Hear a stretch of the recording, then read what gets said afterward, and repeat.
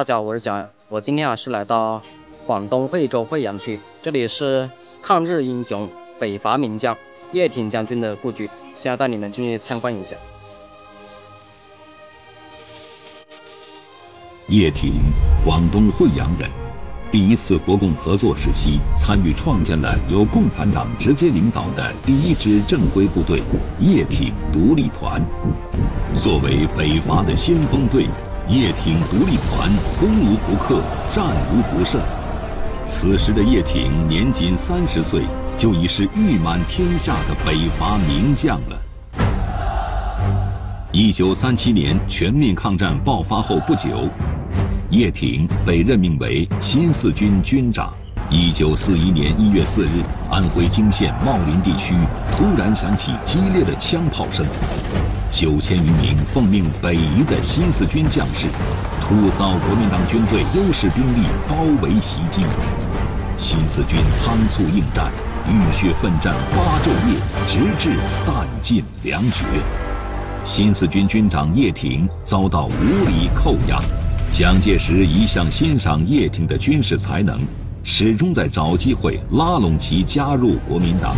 这一次，蒋介石觉得机会来了。为了软化叶挺，蒋介石并没有立即对他展开审判，而是命人好吃好喝伺候着，屡次派国民党高官以看望之名，轮番对叶挺进行游说。蒋介石对外大肆宣扬是新四军动手在先，应将叶挺交军法审判。单方面宣布取消新四军番号，这掩耳盗铃的把戏很快受到来自国内外的舆论压力。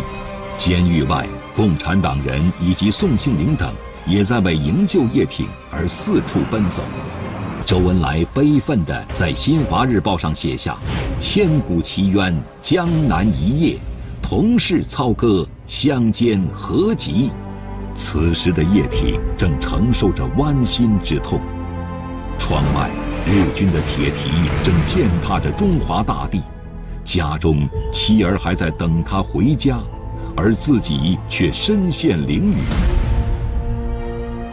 一九四六年三月四日，在共产党不懈的谈判下，蒋介石终于将叶挺释放，度过了长达五年零两个月的监狱生涯。此时的叶挺已经整整五十岁，面色虽显憔悴，但仍旧腰身笔直，目光炯炯。在出狱后的第十个小时，叶挺写下了早已在内心写过千遍万遍的入党申请书。很快，中共中央复电叶挺：“全中国都已熟知你对民族与人民的无限忠诚。”兹决定接受你加入中国共产党为党员，并向你致热烈的慰问与欢迎之诚。一九四六年四月八日，叶挺重获自由的第三十六天，叶挺一行人乘飞机前往延安。想到能够回到日思夜想的延安，见到毛泽东和昔日并肩作战的同志，叶挺感到十分激动。他有一肚子的话要说，有数不尽的事想做。当天，毛泽东不顾病体，与其他欢迎队伍一同在阴雨中等候。然而，飞机始终没有出现。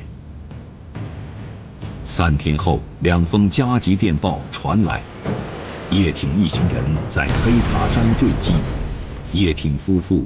女儿叶杨梅，还未取名的小儿子阿九，以及同行的王若飞、博古、邓发等人全部遇难。噩耗传来，举国上下悲痛难抑，人们在延安、重庆、上海、北平等城市先后举行了悼念活动，在悼文中。周恩来深情地将叶挺称为人民队伍的创始者。叶挺遍尝挫折与艰辛，仍初心不改；高官厚禄置于前，却矢志不渝。